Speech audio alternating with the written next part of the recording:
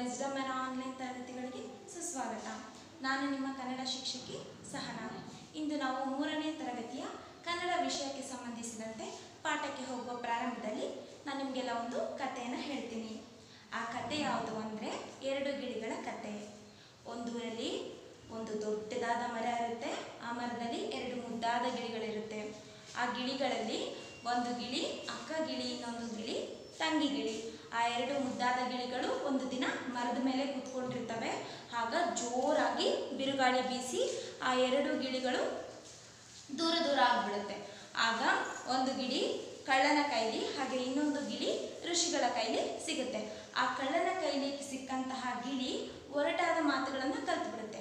ಹಾಗೆ ಋಷಿಗಳ ಕೈಲಿ ಸಿಕ್ಕಂತಹ ಗಿಳಿ ಮೆದುವಾಗಿ, ವಿನಯವಾಗಿ ಮಾತನಾಡಲು ಶುರು ಮಾಡುತ್ತೆ. ಉದಾಹರಣೆಗೆ, ಅಲ್ಲೊಂದು ದಿನ ಸಾಕಷ್ಟು ಜನರು ಹೋಗ್ತಾ ಇರ್ತಾರೆ. ಆಗ ಕಳ್ಳನ ಕೈಲಿರುವಂತಹ ಗಿಳಿ ಏನಂತ ಹೇಳುತ್ತೆ? ಏ ನೋಡು, ಅಲ್ಲಿ ಭಾಳ ಜನ ಬರ್ತಿದ್ದಾರೆ. ಅವ್ರನ್ನೆಲ್ಲ ಹಿಡ್ಕೊಂಡು ಹೊಡೆದ್ಬಿಟ್ರೆ ಅವರಿಂದ ಸಾಕಷ್ಟು ಹಣ ಸಿಗುತ್ತೆ ಅಂತ ಹೇಳಿ ಆ ಕಳ್ಳರ ಹತ್ರ ಇರುವಂತಹ ಗಿಳಿ ಹೇಳುತ್ತೆ. ಆದರೆ ಋಷಿಗಳ ಹತ್ರ ಇರುವಂತಹ ಗಿಳಿ ಆ ಜನಗಳನ್ನ ನೋಡಿ ಏನಂತ ಹೇಳುತ್ತೆ? ಹೌದು, ಬನ್ನಿ ಸ್ವಾಮಿ, ಕುಳಿತುಕೊಳ್ಳಿ, ನೀರು ಕುಡಿಯುವಿರೆ ವಿಶ್ರಾಂತಿ ತೆಗೆದುಕೊಳ್ಳಿ ಎನ್ನುವಂತಹ ನಯವಾದ ಮಾತುಗಳನ್ನು ಆಡಿ ಬೇರೆಯವರ ಮನಸ್ಸನ್ನು ಗೆಲ್ಲುತ್ತೆ. ಹಾಗಾದರೆ ವಿದ್ಯಾರ್ಥಿಗಳೇ, ನಿಮಗೆಲ್ಲ ಯಾವ ರೀತಿಯಾದಂತಹ ಗಿಳಿ ಇಷ್ಟ ಆಯಿತು? ಹೌದು, ನಿಮಗೂ ಕೂಡ ಮೆದು ಮಾತನಾಡುವಂತಹ, ಸನ್ಯಾಸಿಗಳ ಹತ್ರ ಇರುವಂತಹ ಗಿಳಿ ಇಷ್ಟ ಆಯಿತು. ಹಾಗಾದರೆ ವಿದ್ಯಾರ್ಥಿಗಳೇ, ನಾವು ನಿಮ್ಮ ಪಠ್ಯಕ್ರಮದಲ್ಲಿ ಇರುವಂತಹ ಮೆದು ಮಾತು ಎಂಬ ಪಾಠದಲ್ಲಿ ಯಾವ ರೀತಿಯಾದಂತಹ ಮಾತುಗಳನ್ನು ಆಡಿದ್ದಾರೆ ಅನ್ನೋದನ್ನು ಇಂದಿನ ತರಗತಿಯಲ್ಲಿ ನೋಡೋಣ. ವ್ಯಾಪಾರಿಯೊಬ್ಬ ಸಂತೆಗೆಂದು ಸಾಮಾನುಗಳನ್ನು ಟೆಂಪೋದಲ್ಲಿ ತುಂಬಿಕೊಂಡು ಹೊರಟಿದ್ದನು. ಮಳೆ ಬಂದು ರಸ್ತೆ ಬಲು ಕೆಟ್ಟು ಹೋಗಿತ್ತು. ಮಾರ್ಗ ಮಧ್ಯದ ಕೆಸರಿನಲ್ಲಿ ಟೆಂಪೋದ ಒಂದು ಚಕ್ರವು ಕೂತು ಹೋಯಿತು. ವ್ಯಾಪಾರಿ ಟೆಂಪೋದಿಂದ ಕೆಳಗಿಳಿದು, ಯಾರಾದರೂ ಇತ್ತ ಬರುವರೇ? ಎಂದು ನೋಡಿದನು. ದೂರದಲ್ಲಿ ಒಬ್ಬ ಯುವಕ ಹೋಗುತ್ತಿದ್ದ. ವ್ಯಾಪಾರಿ ಗಟ್ಟಿಯಾಗಿ, ಲೋ, ಬಾರೋ ಈ ಕಡೆ? ಎಂದನು. ಯಾರಪ್ಪ ನನ್ನನ್ನು ಈ ಥರ ಕರೆಯುವುದು? ಎಂದುಕೊಂಡ ಯುವಕ ತಿರುಗಿ ನೋಡಿದ. ವ್ಯಾಪಾರಿ ದರ್ಭದಿಂದ, ಏನೋ ಹಾಗೆ ನೋಡ್ತೀಯಾ? ಚಕ್ರ ಊತು ಹೋಗಿರೋದು ಕಾಣಿಸೋದಿಲ್ವೇ? ಬಾ, ಸ್ವಲ್ಪ ಚಕ್ರ ಎತ್ತು. ನಾನು ಗಾಡಿ ಚಾಲು ಮಾಡ್ತೇನೆ ಎನ್ನುತ್ತಾ ಟೆಂಪೋ ಹತ್ತಿದನು. ಆತನ ಮಾತಿನ ದಾಟಿ ಯುವಕನಿಗೆ ಹಿಡಿಸಲಿಲ್ಲ. ಹಾಗಾದರೆ ವಿದ್ಯಾರ್ಥಿಗಳೇ, ಈ ಪಾಠದಲ್ಲಿ ಎರಡು ರೀತಿಯಾದಂತಹ ಪಾತ್ರಗಳು ಬರುತ್ತವೆ. ಒಂದು ವ್ಯಾಪಾರಿ, ಇನ್ನೊಂದು ಯುವಕ. ಆ ವ್ಯಾಪಾರಿ ಸಂತೆಗೆಂದು ಹಲವಾರು ಸಾಮಾನುಗಳನ್ನು ತನ್ನ ಟೆಂಪೋದಲ್ಲಿ ತುಂಬಿಕೊಂಡು ಹೋಗ್ತಾ ಇರ್ತಾನೆ. ಒಂದು ಸ್ಥಳದಿಂದ ಇನ್ನೊಂದು ಸ್ಥಳಕ್ಕೆ. ಸಂತೆಗೆ ಬೇಕಾದಂತಹ ಸಾಮಾನುಗಳು ಯಾವುವು? ಹೌದು, ಸಂತೆಗೆ ಹಣ್ಣು, ಹಂಪಲು, ತರಕಾರಿ, ಕಾಯಿ ಈ ರೀತಿಯಾಗಿ ಹಲವಾರು ಸಾಮಾನುಗಳನ್ನು ಅವನು ಟೆಂಪೋದಲ್ಲಿ ಹಾಕ್ಕೊಂಡು ಹೋಗ್ತಾ ಇರ್ತಾನೆ. ಆ ಟೆಂಪೋ ನೋಡಿದ್ದೀರಾ ನೀವು? ನೋಡಿ, ಇದೇ ಟೆಂಪೋ. ಈ ರೀತಿಯಾದಂತಹ ಟೆಂಪೋದಲ್ಲಿ ಆ ವ್ಯಾಪಾರಿಗೂ ಕೂಡ ಸಾಮಾನುಗಳನ್ನೆಲ್ಲ ಹಾಕ್ಕೊಂಡು ಹೊರಟಿರ್ತಾನೆ. ಆ ವ್ಯಾಪಾರಿ ಅಂದ್ರೆ ಇಲ್ಲಿ ವರ್ತಕ ಅಂತ.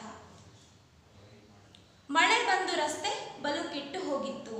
ಅಂದ್ರೆ ಸತತವಾಗಿ ಮಳೆ ಬರ್ತಿದ್ರೆ ಆ ರಸ್ತೆಗಳಲ್ಲಿ ಗುಂಡಿಗಳಾಗಿ ಅಲ್ಲಿ ನೀರು ತುಂಬಿಕೊಂಡಿರೋದ್ರಿಂದ ಆ ರಸ್ತೆ ಬಹು ಬಲು ಕೆಟ್ಟಿತ್ತು ಅಂದರೆ ಬಹಳ ಕೆಟ್ಟು ಹೋಗಿರುತ್ತೆ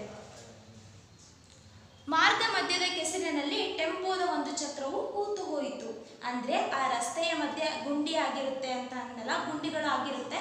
ಅದರಲ್ಲಿ ಕೆಸರು ತುಂಬಿಕೊಂಡು ಆ ರಸ್ತೆ ಬಹಳ ಕೆಟ್ಟು ಹೋಗಿರುತ್ತೆ.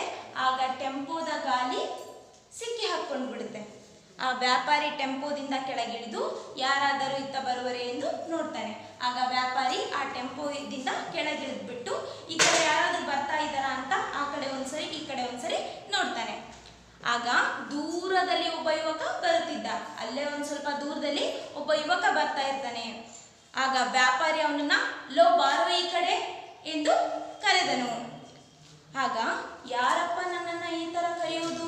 ನನ್ನ ಯಾರು ಈ ಥರ ಕರೀತಾ ಇದ್ದಾರೆ? ಲೋ ಅಂತೇಳಿ ಅಂತ ಅಂದುಕೊಂಡಂತಹ ಯುವಕ ಅವನನ್ನ ತಿರುಗಿ ನೋಡ್ತಾನೆ. ವ್ಯಾಪಾರಿ ದಪ್ಪದಿಂದ, ಏನೋ ಹಾಗೆ ನೋಡ್ತೀಯಾ? ಚಕ್ರ ಊತು ಹೋಗಿರೋದು ಕಾಣಿಸೋದಿಲ್ವೇ?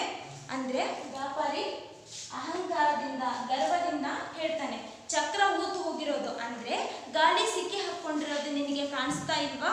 ಬಂದು ಗಾಲಿನ ಎತ್ತು. ನಾನು ಗಾಡಿನ ಸ್ಟಾರ್ಟ್ ಮಾಡ್ತೀನಿ ಅಥವಾ ಚಾಲು ಮಾಡ್ತೀನಿ. ಚಾಲು ಅಂದ್ರೆ ಆರಂಭ. ಎನ್ನುತ್ತಾ ಟೆಂಪೋ ಹತ್ತಿದನು. ಆಗ ಹೇಳ್ತಾ ಅವನೇನು ಮಾಡ್ತಾನೆ? ಟೆಂಪೋ ಹತ್ತಿ ಕುತ್ಕೊಬಿಡ್ತಾನೆ. ಆಗ ಆತನ ಮಾತಿನ ದಾಟಿ ಯುವಕನಿಗೆ ಹಿಡಿಸಲಿಲ್ಲ. ಅಂದ್ರೆ ಅವನು ಮಾತನಾಡಿದಂತಹ ರೀತಿ. ದಾಟಿ ಅಂದ್ರೆ ರೀತಿ. ಅವನು ಮಾತನಾಡಿದಂತಹ ರೀತಿ ಯುವಕನಿಗೆ ಇಷ್ಟ ಆಗಲಿಲ್ಲ. ಹಾಗಾದರೆ ವಿದ್ಯಾರ್ಥಿಗಳೇ, ನಾವು ಇಂದಿನ ತರಗತಿಯಲ್ಲಿ ವ್ಯಾಪಾರಿ ಮತ್ತು ಯುವಕ ಯಾವ ರೀತಿಯಾಗಿ ಮಾತನಾಡಿದ್ರು ಅನ್ನೋದ್ರ ಬಗ್ಗೆ ತಿಳ್ಕೊಂಡಿದ್ದೀವಿ. ಆ ಯುವಕ ಸಹಾಯ ಮಾಡ್ತಾನೋ ಇಲ್ಲೋ ಅನ್ನೋದನ್ನು ಮುಂದಿನ ತರಗತಿಯಲ್ಲಿ ನೋಡೋಣ. ಧನ್ಯವಾದಗಳು.